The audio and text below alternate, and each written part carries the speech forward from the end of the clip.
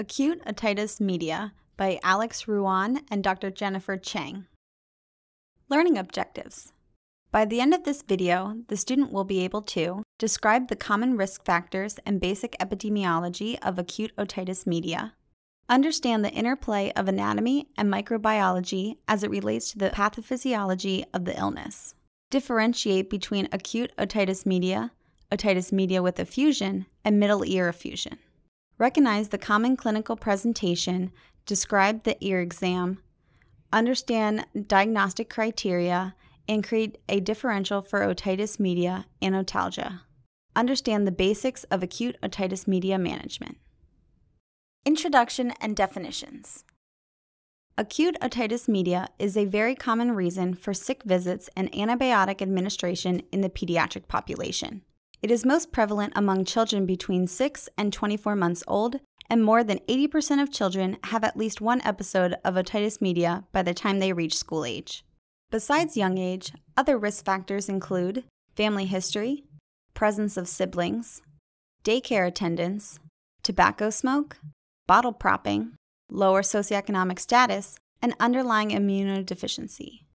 While the incidence of acute otitis media is increased during the fall and winter, the overall incidence of acute otitis media has decreased over time with the introduction of pneumococcal conjugate vaccine and more stringent diagnosis guidelines. It is important to define acute otitis media, otitis media with effusion, and middle ear effusion. The most recent American Academy of Pediatric guidelines define acute otitis media as moderate to severe bulging of the tympanic membrane or new onset of otorrhea not due to acute otitis externa accompanied by acute signs of illness and signs or symptoms of middle ear inflammation. Recurrent acute otitis media is defined as three separate episodes in the last six months, or four or more episodes in the past 12 months. Otitis media with effusion is defined as inflammation of the middle ear with liquid collected in the middle ear signs and symptoms of infection are absent. Middle ear effusion simply refers to fluid in the middle ear and is found in both acute otitis media and otitis media with effusion. Anatomy The middle ear is the portion of the ear between the tympanic membrane and the oval window of the internal ear. It consists of three ossicles the tympanic cavity and the eustachian tube, the eustachian tube connects the tympanic cavity to the nasopharynx and normally functions to ventilate and clear secretions from the middle ear. Pathophysiology The pathogenesis of acute otitis media typically occurs as follows. First, the child develops a viral upper respiratory infection or some other preceding infection. This then leads to inflammation and edema of the mucosa of the nose, nasopharynx, and because of its connection, the eustachian tube. This edema leads to the obstruction of the eustachian tube, which prevents the drainage of middle ear secretions. As a result, fluid starts to collect in the middle ear. Viral upper respiratory infections are actually one of the most common causes of such dysfunction. Viruses and bacteria from the upper respiratory tract enter the middle ear space through aspiration or reflux. The microbes then proliferate in this environment, leading to the signs and symptoms of acute otitis media. Anatomically, a child's eustachian tube is shorter and forms a shallower angle, thus making it easier for microbes to ascend to the middle ear. The three most common bacteria in acute otitis media are Strep pneumoniae, non-typable Haemophilus influenza, and Moraxella catarrhalis. Other less common bacteria include Group A Streptococcus and Staph aureus. Viruses commonly seen include respiratory syncytial virus, picornaviruses, coronaviruses, influenza, adenovirus, and metapneumovirus. Clinical presentation The presentation of acute otitis media depends on the age of the child.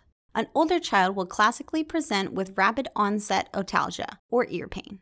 More commonly, especially in the young preverbal child, the presenting symptoms and signs are more nonspecific. There may be a history of initial upper respiratory infection symptoms such as fever, rhinorrhea, or congestion.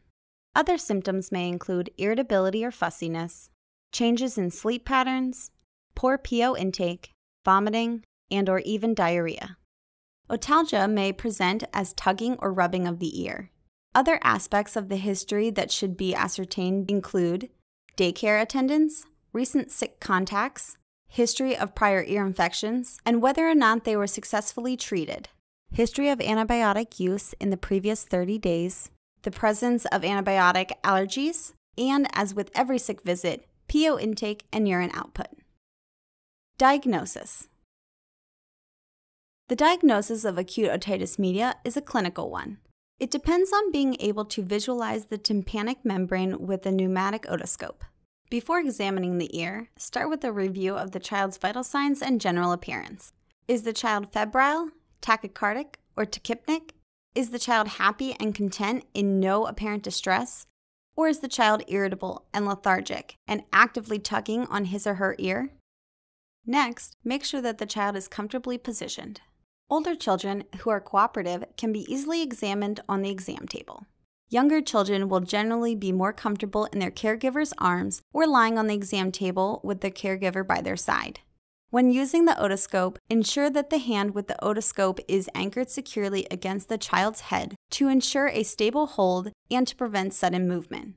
When viewing the tympanic membrane, try and examine these four characteristics contour, color, translucency, and mobility. What is the contour of the tympanic membrane? Is it in a neutral position or is it bulging or retracted? What is the color? Is it translucent or opaque? How mobile is the tympanic membrane with air insufflation? Normal is typically described as translucent, pearly gray in a neutral position without bulging or retraction, with a visible light reflex and good mobility. The view of the tympanic membrane may be obstructed by cerumen, and this should be removed via curette gentle suction, or irrigation. The diagnosis of acute otitis media requires signs of middle ear inflammation and presence of a middle ear effusion. Bulging of the tympanic membrane is the most specific sign of middle ear inflammation. Insufflation of air with a pneumatic otoscope can show decreased mobility, and this is one of the most sensitive and specific tests to determine the presence of a middle ear effusion. In order to perform pneumatic otoscopy, gently squeeze the insufflator attachment while observing the movement of the tympanic membrane. If fluid is present in the middle ear, membrane movement will be impeded.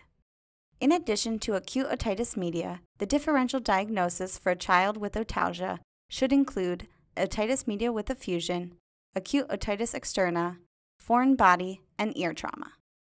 Management Isolation of the causative microbe is usually not necessary unless the child is toxic, has an underlying immunodeficiency, or has a history of failing antibiotic therapy as treatment is usually empiric. Regardless of antibiotic treatment, age appropriate analgesia is important, with acetaminophen or ibuprofen typically being first line agents. Antibiotics are indicated for all infants less than six months, regardless of mild or severe symptoms. They are also indicated in children six months or older with unilateral or bilateral acute otitis media with severe signs or symptoms. This includes moderate to severe otalgia, otalgia for at least 48 hours, or temperature of 39 degrees Celsius or higher. Antibiotics are also indicated for children 6 to 23 months old with bilateral acute otitis media, irrespective of severe signs or symptoms. Antibiotics or observation with close follow up is indicated for children 6 to 23 months old with unilateral acute otitis media. Antibiotics or observation is also indicated in children 24 months or older with unilateral or bilateral acute otitis media with mild symptoms. Otherwise, watchful waiting is a reasonable option for patients not meeting these criteria. With observation, one must ensure close follow up and begin antibiotic therapy if the child worsens or fails to improve within 48 to 72 hours of onset of symptoms.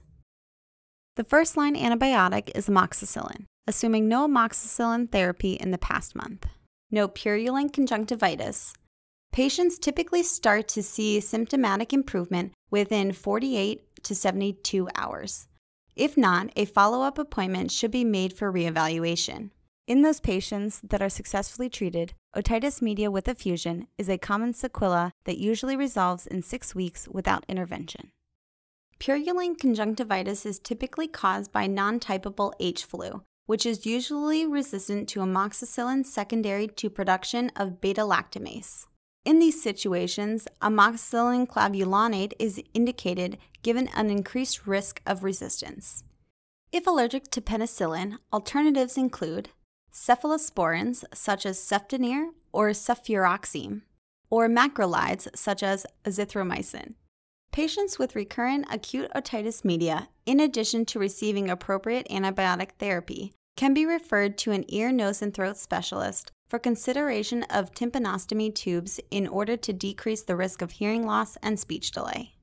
Complications of acute otitis media include hearing loss, balance or motor issues, tympanic membrane perforation, cholesteatoma, mastoiditis, meningitis, bacterial abscess, and cavernous sinus thrombosis. Summary In summary, acute otitis media is a common reason for pediatric sick visits and antibiotic prescriptions. Its incidence is higher in the fall and winter months and is usually preceded by a viral upper respiratory infection predisposing to infection of the middle ear space.